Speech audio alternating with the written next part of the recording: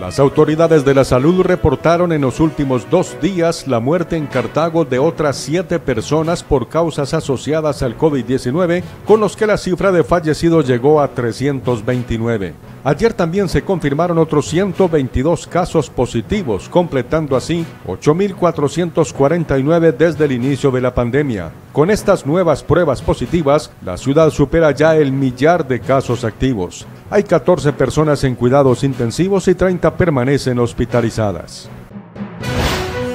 Un joven de 25 años fue asesinado ayer en el municipio de Sevilla. En los hechos que se presentaron en la calle 71, número 50207 del barrio popular, falleció Davinson Fernando Bolaños Marín, quien recibió múltiples heridas de arma de fuego ocasionadas por desconocidos.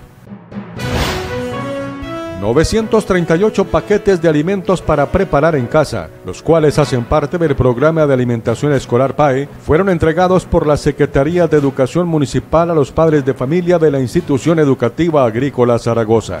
En esta oportunidad son 938 paquetes de alimentos, cada uno de ellos contiene 20 raciones que equivalen a un complemento alimenticio que se determina desde la Secretaría de Educación y desde la Administración Es Contigo Cartago como una estrategia de permanencia de nuestros estudiantes en el sistema educativo.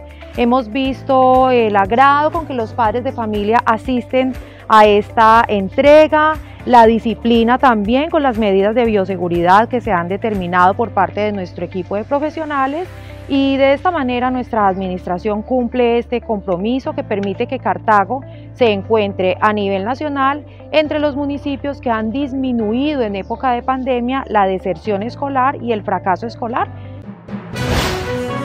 de luto se encuentra en el arte y la cultura de Cartago luego del fallecimiento en las últimas horas del pintor Daniel Narváez Lorza. Reconocido por sus pinturas de coloridas aves tropicales, Daniel Narváez ocupó un lugar muy especial en el arte cartagüeño. Irreverente como ninguno, amó la ciudad y fue un acérrimo crítico de la clase política. Sus obras trascendieron las fronteras patrias y son reconocidas en todo el mundo.